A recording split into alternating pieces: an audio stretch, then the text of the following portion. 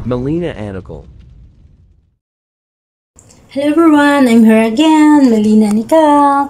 So, ang tutorial natin ngayon, ituturo ko sa inyo kung paano mag-create ng new account sa Facebook. So, napakadali lang. So, punta ka lang dito sa Facebook, itong ginagalaw ko. So, press natin to. So, gagawa tayo ng bagong account. So, paano? So, napakadali lang. Kung makita mo yung profile ko dito sa taas, sa right side, so press mo lang to. Press natin. So, nandito na tayo. So, mag-scroll up ka lang. Scroll up. And then, kung makita mo yung log out, so, press mo lang yung log out. Press natin. Then, lalag out natin ang ating account. Press mo lang tong log out, tong ginagalaw ko.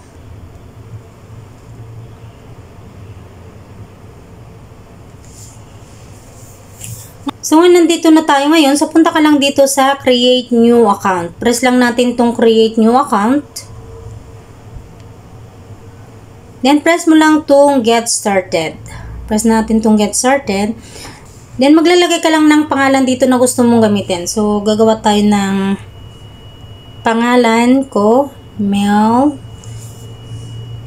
Yan na lang. Gamitin ko pangalan ko.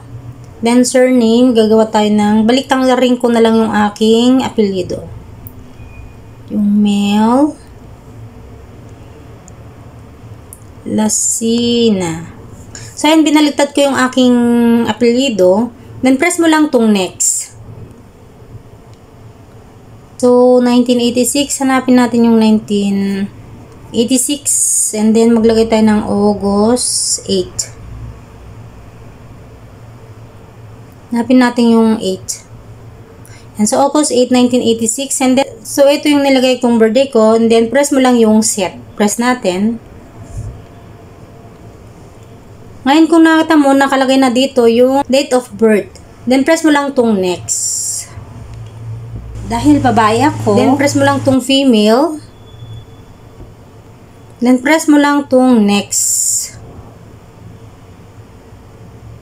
Kung anong number na gusto nyong gamitin, so, itatype mo lang dyan sa box. Kahit anong number na pwede mong gamitin, so, dyan mo lang ilagay sa box na yan. Then, press mo lang yung next. Or pwede ring sign up with email address. So, press natin yung sign up with email address.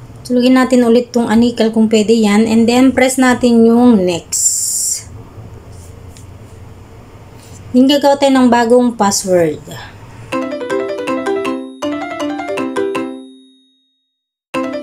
And then, nakagawa na ako ng password ko. So, press mo lang tong next. Press natin. Save your login info and then save. Press mo lang tong save. So, may makita po kayong ganito. So, press mo lang po yung I agree.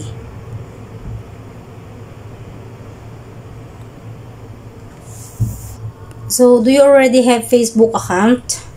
No, create new account. So, press mo lang to, no, create new account. So, natin yung confirmation code at ilalagay natin dyan. Gmail, dun ka makaka-receive ng code. So, antayin mo lang at ilalagay mo sa box. And then, press mo lang tong next. Press natin tong next.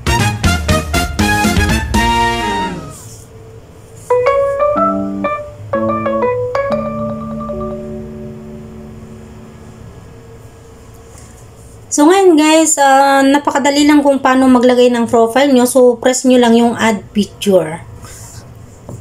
So yan guys, gagawa na tayo ng ating new account. So hindi muna ako maglalagay ng picture kasi ituturo ko sa inyo kung paano gumawa ng new account.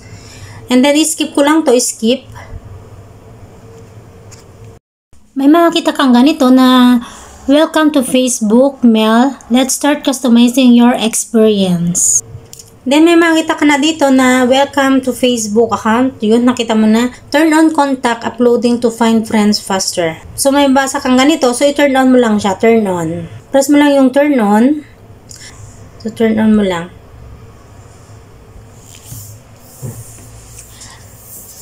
So ito guys, nagagawa na ako ng bago kong account. So kung makita mo yung profile ko dito sa taas, yung wala pang profile, so press natin to. Yan, so nakagawa na tayo guys ng ating bagong account. So ganyan lang kadali guys kung paano gumawa ng bagong account. That's for today. I hope na nakatulong ako sa inyo sa tutorial ko na ito paano gumawa ng bagong account or how to create your new account on the Facebook. See you in my next tutorial. Thanks for watching. God bless us all. Bye-bye.